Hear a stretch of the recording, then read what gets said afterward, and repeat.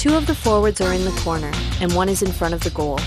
The defenders defend the zone so that one plays against the player with the ball and the other will defend in front of the net. The forwards try to take advantage of the power play and to score as directly as possible.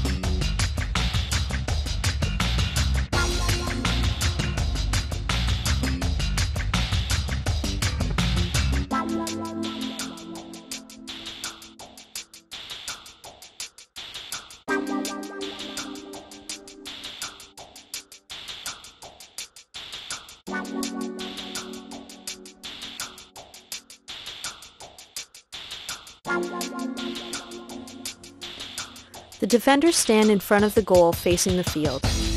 Forwards are in three lines facing the goal. The goalkeeper throws the ball to the corner, and the forwards will be the first to see where the ball is thrown. The players race to the ball, and if the forward reaches the ball first, they will try to take advantage of the power play. If the defenders reach the ball first, they will try to give a controlled pass to the middle zone, for example, to the coach.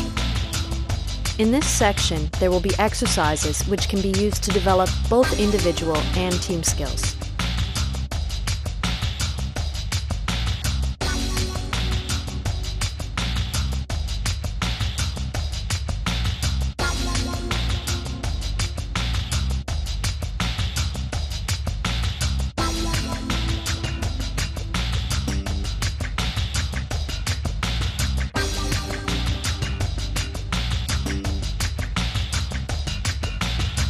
In this section, there will be exercises which can be used to develop both individual and team skills.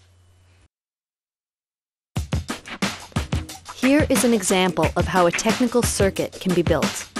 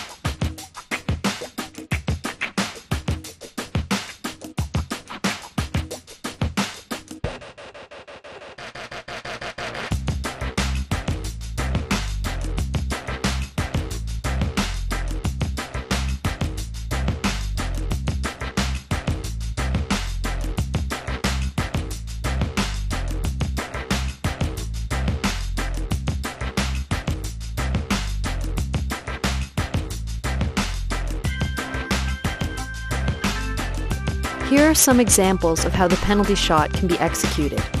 The ground rule is that if the goalkeeper moves towards you, then fake, but if the goalkeeper stays in the goal, then shoot.